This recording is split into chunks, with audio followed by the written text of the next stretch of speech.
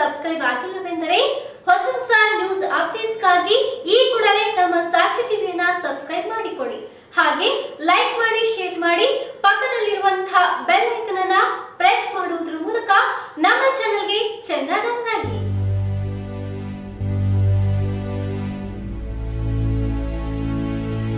ಬೆಳೆ ಸಾಲ ಮನ್ನಾ ಮಾಡುವ ಮತ್ತು ಪ್ರತಿ ಹೆಕ್ಟರ್ಗೆ ಮೂವತ್ತೈದು ಸಾವಿರ ರೂಪಾಯಿಗಳ ಬೆಳೆ ಪರಿಹಾರ ಕೊಡುವ ಕುರಿತು ಶಿವಸೇನೆ ಪಕ್ಷದ ವತಿಯಿಂದ ಧಾರವಾಡದಲ್ಲಿ ಮನವಿ ಸಲ್ಲಿಸಲಾಯಿತು.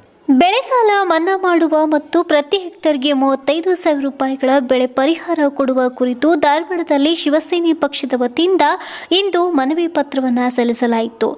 ಇನ್ನು ಕೋವಿಡ್ ನೈನ್ಟೀನ್ ಬಂದಾಗಿನಿಂದ ರೈತನು ತನ್ನ ಕುಟುಂಬ ನಿರ್ವಹಣೆ ಮಾಡುವುದು ತುಂಬಾ ದುಸ್ತರವಾಗಿದೆ. ಮೇಲಿಂದ ಮೇಲೆ ಅತಿವೃಷ್ಟಿಯಿಂದ ರೈತ ಕೈ ಸುಟ್ಟುಕೊಂಡಿದ್ದಾನೆ. ಜಮೀನಿನಲ್ಲಿ ಬೆಳೆದ ಬೆಳೆ ಕೈಗೆ ಬಂದ ತುತ್ತು ಬಾಯಿಗೆ ಬರದಂತಾಗಿದೆ. ಆದರೆ ಬೆಳೆ ವಿಮಾ, ಬೆಳೆ ಪರಿಹಾರ ನೀಡುವಲ್ಲಿ ಸರ್ಕಾರದ ಅಧಿಕಾರಿಗಳು ನಿರ್ಲಕ್ಷ್ಯ ವಹಿಸಿದ್ದಾರೆ.